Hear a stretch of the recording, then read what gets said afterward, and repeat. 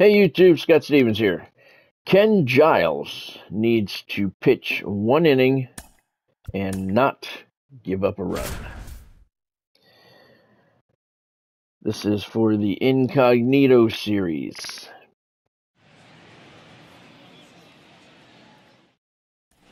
Back here at the ballpark, all set for the start of the inning. Now it's the right fielder, Anthony Santander. And a pitch. Fought off foul.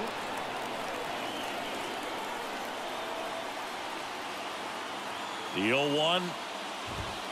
Good eye right there. 1-0.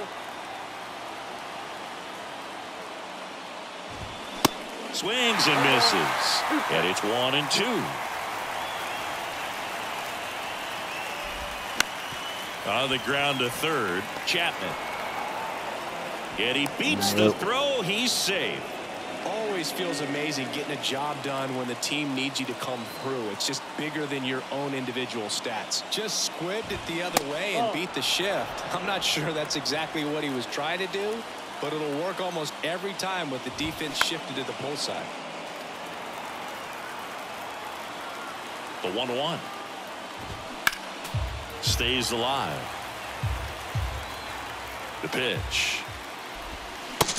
Got him! And that's the first out. Here's Adam Frazier. All right. First pitch just misses. That's in there. One ball, one strike. Misses off the inside. His control Now could be a little bit strike. better.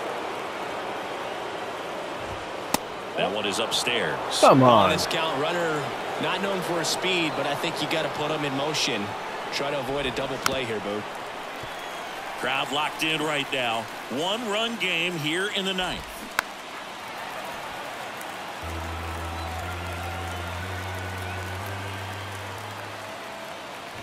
Good plate appearance there. Able to take the walk. Well, a great back and forth and that at bat. He had to lay off some really close pitches and somehow Boogie found a way to keep the bat on his shoulder right there. I'll tell you right now, I couldn't have done it.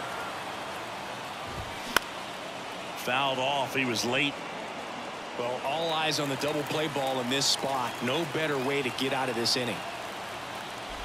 Swing and a miss. Struck him out. Slider got him for strike three. Orioles down to their final out. And now Terrin Vavra will get a chance to hit. In the air, right side. Varsho moving under it. All right. And he's got it. Ball game. And the Blue Jays hold on to win a tight one as this one ends as a one-run ball game.